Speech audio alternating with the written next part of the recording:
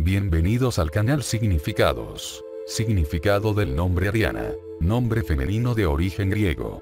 El significado de Ariana es, mujer muy santa. Ariana le gusta todo lo que tiene valor, es de mente abierta e impaciente, es una persona muy observadora. Es muy receptiva, le gusta mucho la novedad y la curiosidad.